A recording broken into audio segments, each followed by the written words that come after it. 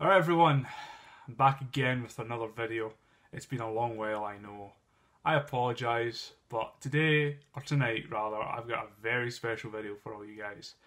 Now, as you'll know, I'm a big Daredevil fan, and I'm really hyped for season 3 of the Netflix show, and it's coming out tonight.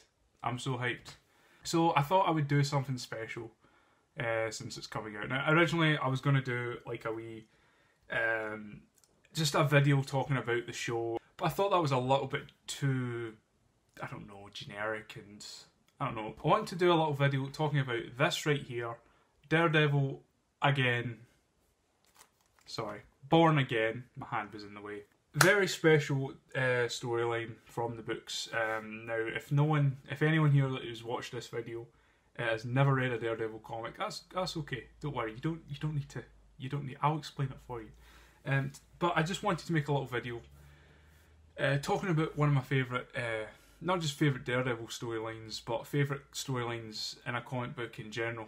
Like this is is really fucking good, and in all seriousness, I thought it was a little bit appropriate because not only is it Daredevil, but um, season three, from what from what I've gathered, is loosely based on this. Not entirely, of course. Um, they do need to make uh, adjustments and whatever else but they, they are going to be taking elements from it, and I'm actually quite excited to see how they adapt certain areas of it, or certain parts of it, if you know what I mean.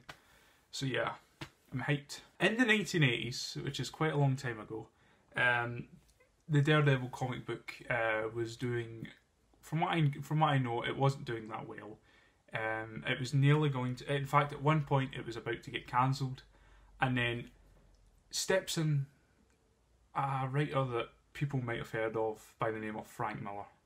Now, Frank Miller, of course, has done many other things in comics. He he did The Dark Knight Returns, which is one of the highly regarded as one of the best uh, Batman stories of all time. Um, he also did uh, what else did he do? Uh, Sin City, which is another thing he did years later. Um, Three Hundred. Um, what was the other thing? Ronin, the uh, Japanese sort of like samurai type book, which you know, obviously ties ties a little bit into Daredevil as well. But the place he really got his big start was on Daredevil, and he wrote the book for I'm fairly sure about three, four-ish years, and then he went away, and then he came back a few years later, and he did this storyline, and uh, this is highly regarded as his well one of his best works. I personally think it's his best. I've read The Dark Knight Returns; it's a good storyline, but I do honestly prefer this, and I'll do I'll do that maybe in another video. I'll talk about the Dark Knight Returns um, and other stuff. But essentially, he's done some great stuff. Uh, now, like I says, he came, he went away and came back. Um, he went away for a while and then came back and did this uh, book. And there's a lot in this book that you know, it's sort of like the, a lot of people see it as the definitive Daredevil storyline. There, there, there's a lot of stuff. Um, there's a lot of other stories as well. I would say. Uh, are just as good uh, or uh, just as true to the character. But this storyline is just, it's something else. There's something unique about this one. So basically, in the story, it opens up with one of the most fucking depressing looking opening pages of all time, and I love it. And I'm going to get into the artwork in a moment, but just look at this page and tell me this is this is this is just how you start a story. So it sets the tone perfectly. Daredevil's old lover, girlfriend, whatever, uh, Karen Page, who had left the story a long time ago and it came back in, uh, is now a, a junkie and she's fucking taking drugs and shit. And she's basically she's run out of money, but she's still addicted to drugs. So she gets absolutely desperate, and what does she do? She gives away Daredevil's identity. And eventually Wilson Fisk, who is the main bad guy, uh, if you haven't seen the show or whatever, he's Daredevil's arch nemesis, ends up finding out who he really is. And who is he? Matt Murdock, the lawyer, of course. That's a little bit problematic when you're a lawyer and you're also going out at night fighting bad guys, you know, beating people up essentially. It's kind of against the law, if you know what I mean. So um, instead of outright exposing him, however, he subtly manipulates things um, around Matt's life so that he breaks him down bit by bit, slowly, and eventually, com- almost completely. It's like a complete destruction of Matt's character. And even in the first issue alone, a lot of shit happens to him. He loses his job.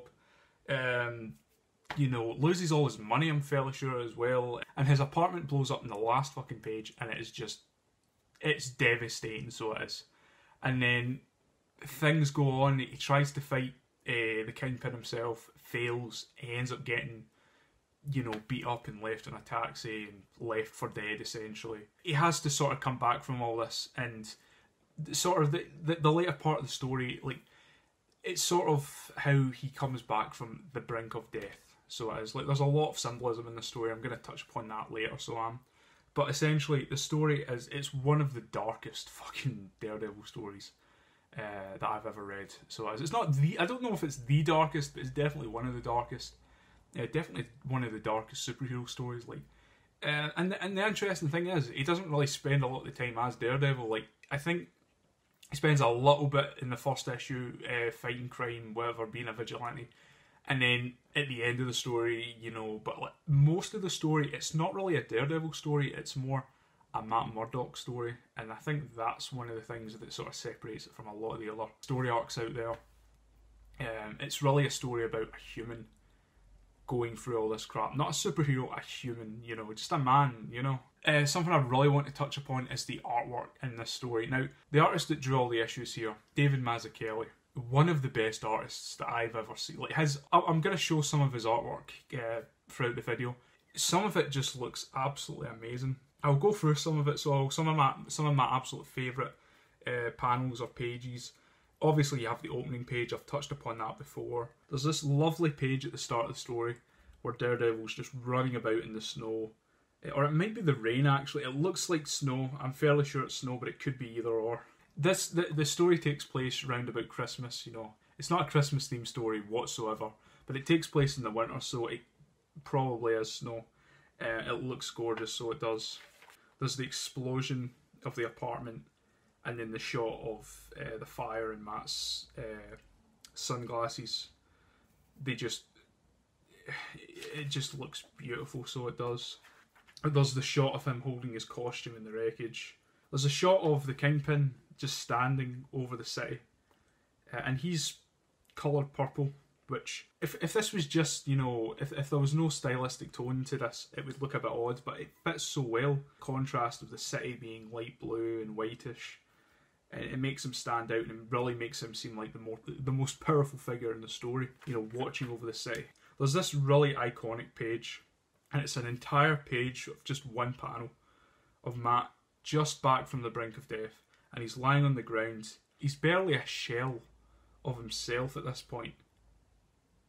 And he's just lying there, and there's a nun just sitting above him, resting over him, taking care of him, you know, just watching over him like a guardian angel in a way. You've got this iconic page that opens up one of the, the issues where Matt's just lying on a, a bed in a hospice with nuns surrounding him. Just look at it and tell me, tell me it doesn't look like Christ on the cross. You know, the crucifix. I mean, there's obviously a lot of symbolism in this, and you can see it right here in a lot of the the artwork, a lot of the. The, the ways they position Matt, the, the ways they position the other characters, and this shot's so iconic. They even used it in, in the very last shot of the defenders to, you know, to, to foreshadow what would come in this next season. The book also features one of my absolute favourite pieces of artwork in a comic book, period.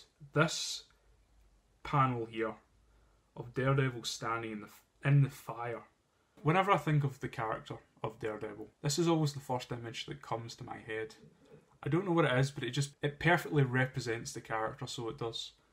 And even though it literally is just a a still image, you know, it's not not not too dynamic. It just looks fucking fantastic, so it does. And going by a lot of the artwork in comic books these days, like there's there's still good artwork in comic books these days, and I'm not gonna say, well, oh, if only uh, you know it's all shit now, but there genuinely is a lot of poor or mediocre artwork being put in comic books. It just makes you appreciate artists like Mazzucchelli so much more. So it does. I feel like I've talked a lot, a lot about it uh, I hope this has been a, a good video. Um, I hope you have all enjoyed this video. I know it's a very different video from what I've done before. Um, I hope it's.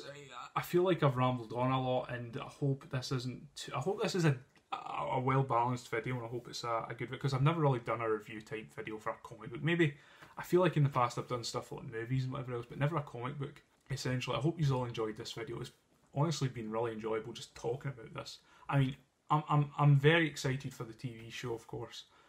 But um, just reading this story again and talking about it, it's making me even more excited now. Just thinking about it, I just hope it's as good. I mean, I don't expect it. Like I says, it's it's sort of loosely based on this, but I hope it. I hope it's as good as the first two seasons at least, um, because it is a great show.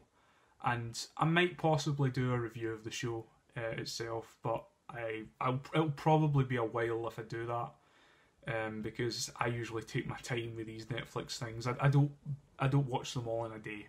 But if I do do a review of it, then it'll probably be a few weeks away. Hopefully, it'll be just as good as uh, as any video I've done.